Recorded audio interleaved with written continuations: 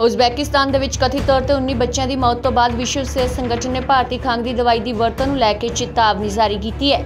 ਵਿਸ਼ਵ ਸਿਹਤ ਸੰਗਠਨ ਉਜ਼ਬੈਕਿਸਤਾਨ ਦੇ ਕਈ ਸੀਨੀਅਰ ਅਧਿਕਾਰੀਆਂ ਦੇ ਸੰਪਰਕ ਵਿੱਚ ਹੈ ਤੇ ਇਸ ਪੂਰੇ ਮਾਮਲੇ ਬਾਰੇ WHO ਤੋਂ ਜਾਣਕਾਰੀ ਲਈ ਜਾ ਰਹੀ ਹੈ। WHO ਨੇ ਕਿਹਾ ਹੈ ਕਿ ਦੋ ਭਾਰਤੀ ਖੰਘ ਦੇ ਸਿਰਪ, ਐਮਬਰੋਨਲ ਸਿਰਪ ਅਤੇ ਡੋਕਵਨ ਮੈਕਸ ਸਿਰਪ ਨੂੰ ਉਜ਼ਬੈਕਿਸਤਾਨ ਦੇ ਵਿੱਚ ਬੱਚਿਆਂ ਦੇ ਲਈ ਨਹੀਂ ਵਰਤਿਆ ਜਾਣਾ ਚਾਹੀਦਾ। WHO ਨੇ ਕਿਹਾ ਹੈ ਕਿ ਮੈਰੀਅਨ ਬਾਇਓਟੈਕ ਦੁਆਰਾ ਨਿਰਮਿਤ ਖੰਘ ਦੇ ਸਿਰਪ ਅਜਿਹੇ ਉਤਪਾਦ ਨੇ ਜੋ ਗੁਣਵੱਤਾ ਦੇ ਮਾਪਦੰਡਾਂ ਨੂੰ ਪੂਰਾ ਨਹੀਂ ਕਰਦੇ। ਪ੍ਰਯੋਗਸ਼ਾਲਾ ਦੇ ਵਿਸ਼ਲੇਸ਼ਣ ਵਿੱਚ ਪਾਇਆ ਗਿਆ ਕਿ ਦੋਵੇਂ ਉਤਪਾਦਾਂ ਦੇ ਵਿੱਚ ਡਾਈਥਾਈਲੀਨ ਗਲਾਈਕੋਲ ਜਾਂ ਇਥਿਲੀਨ ਗਲਾਈਕੋਲ ਦੀ ਅਸਵੀਕਾਰਨਯੋਗ ਮਾਤਰਾ ਨੂੰ ਗੰਦਗੀ ਦੇ ਰੂਪ ਵਿੱਚ ਸ਼ਾਮਲ ਕੀਤਾ ਗਿਆ ਹੈ।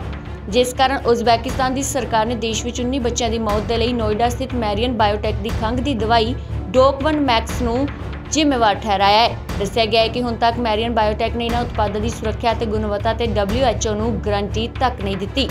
ਉਧਰ ਉਜ਼ਬੈਕਿਸਤਾਨ ਦੇ ਸਿਹਤ ਮੰਤਰਾਲੇ ਨੇ ਵਿਸ਼ਲੇਸ਼ਣ ਕਰਦੇ ਹੋਏ ਦਾਅਵਾ ਕੀਤਾ ਹੈ ਕਿ ਭਾਰਤੀ ਖੰਘ ਦੀ ਦਵਾਈ ਦੇ ਵਿੱਚ ਇੱਕ ਜ਼ਹਿਰੀਲਾ ਪਦਾਰਥ ਐਥਿਲੀਨ ਗਲਾਈਕੋਲ ਹੁੰਦਾ ਹੈ।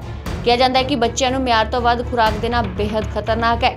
ਉਜ਼ਬੈਕਿਸਤਾਨ ਦੇ ਸਿਹਤ ਮੰਤਰਾਲੇ ਨੇ ਕਿਹਾ ਹੈ ਕਿ ਉਹਨਾਂ ਦੇ ਦੇਸ਼ ਦੇ ਬੱਚਿਆਂ ਨੇ ਨੋਇਡਾ ਸਥਿਤ ਮੈਰੀਅਨ ਬਾਇਓਟੈਕ ਦੀ ਖੰਘ ਦੀ ਦਵਾਈ ਡੋਕਵਨ ਮੈਕਸ ਦਾ ਸੇਵਨ ਕੀਤਾ ਸੀ, ਜਿਸ ਕਾਰਨ ਉਹਨਾਂ ਬੱਚਿਆਂ ਦੀ ਮੌਤ ਹੋਈ ਹੈ।